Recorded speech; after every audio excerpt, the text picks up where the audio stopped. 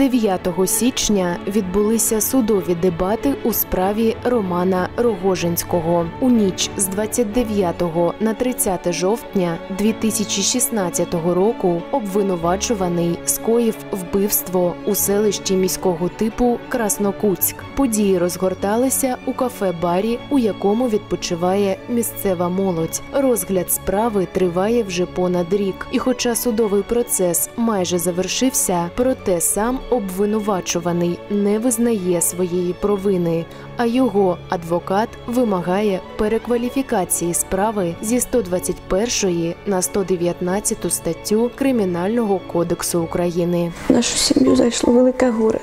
Ми потеряли сина. Це трапилося вночі, цей день. Туди прийшов Рогожинський, якому 36 років. І на протязі всього вечора він зухвало вів себе, він е, чіплявся до молодих дівчат, і все йому не подобалося. Він все казав, що я буду виховувати молодь. І піком стала та побита якась пуста пляшка пива, яка була розбита в цьому залі. І він вирішив, що треба виховати молодь.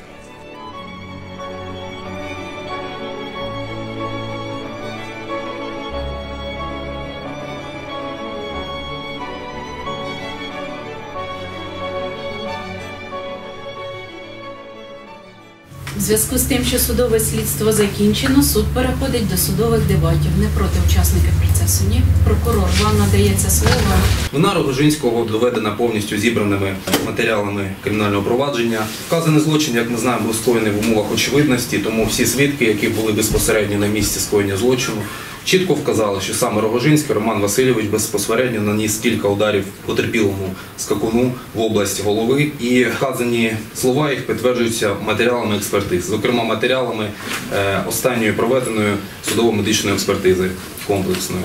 З урахуванням е, вищевикладеного е, того, що обвинувачений Рогожинський не розкаюся в чині вказу кримінального правопорушення, фактично вину не визнав, е, жодних пом'якшуючих обставин вказаному діянню немає. Е, Я прошу призначити покарання відповідно до санкції частини 2 статті 121 Кримінального кодексу України, саме 10 років позбавлення волі, тобто максимальну міру покарання за вказаний злочин. Я підтримую сторону обвинувачення.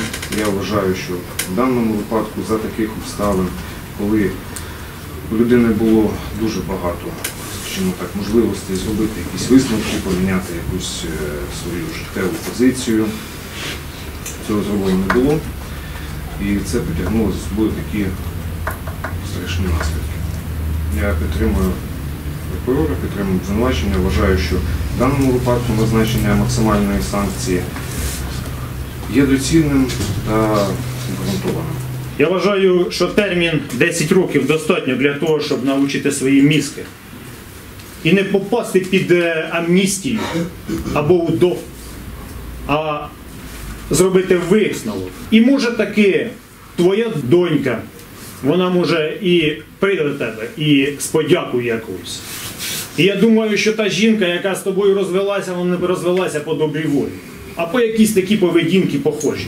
Ваша честь, все наше село і далеко за межами села чекають вашу зірку. Тому що на тому місці були діти. І ти на- наніс ущерб моральний тим дітям. І крик на очок ти вбив нашого сина. Я багато з ким спілкувалася. Дівчата досі, досі шоковані. Діма на руках його вмер. Умер мій син. Він і досі не може прийти до себе. Хіба можна робити це на очах? Я хочу сказати одне. Є вищий суд. І що б ми зараз тут не є вищий суд, є вищий закон. І там вказано не вбий, не прелюбодійствуй, не укради, не лжеслов, почитай батьків своїх і поважай ближніх своїх. Я бачу, що я знаю, що мій намагався жити по цьому закону. Він намагався так жити. Він почитав своїх батьків і своїх друзів і всіх, хто оточував його. На цьому місці не зря сьогодні немає. Ні на жодному засіданні не було ні разу твоєї матері. Чому? Тому що ти сором! Ти сором для своїх батьків, ти сором для своєї дитини. Я не можу по-іншому на тебе сказати. Ти просто сором для нашого села нашого. І я як мати, я благаю вас, будь ласка, прийміть усі ми віри, щоб він сидів і не був наказаний за те, що він здіяв. Несмотря на то, что год рассматривая данное дело, я ощущал себя больше как на центральном рынке Благовещенском, чем как в судебном процессе. Я сегодня хочу немножко остановиться на законе. Дело в том, что дела данной категории в связи с бытовым характером конфликта, а это бытовой характер, это не заказное преступление, это бытовой конфликт, участники которого все все находились в стадии легкого алкогольного опьянения. В связи с чем по делам данной категории краеугольным камнем доказывания является это заключение судебно-медицинских, трассологических, гистологических, биологических и других экспертиз.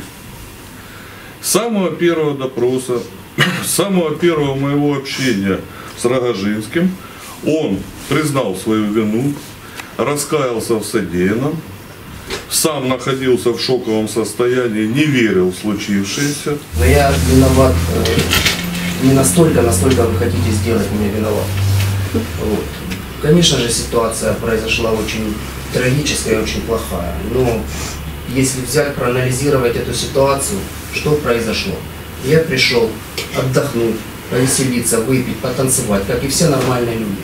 Это и продолжалось до того времени, пока не зашла компания людей, которые меня начали таскать, провоцировать, мне пришлось защи- себя защитить. Да, он совершил тяжкое преступление. Да, он в нем раскаивается. У меня все. Я вас прошу по данной статье не выносить приговор. І ти стоїш передо мною тут розкажеш, що це не ти до нас прийшов. Ми до тебе прийшли. Ти безсовісний. Ти навіть зараз не признаєшся і не розкаюєшся. Можно я добавлю еще? Добавь То, ти что вы лепку. говорите по поводу ребенка, по поводу э, жены, по поводу матери, которая не приходит. Это я попросил, чтобы они не приходили, потому что маме от этого тоже тяжело. А мені хорошо Я тут ще раз- сидіти. А я трушусь уся, все кожне тіло, тілочка моя труситься. А ти свою бережеш маму. А на мені живого міста вже немає. Що мені робити з цим? Суд оголошує перерву, відкладає розгляд справи для наступного судового засідання, де буде надано останнє слово обвинуваченому, і суд видалиться до нарадчої кімнати для е, ухвалення рішення.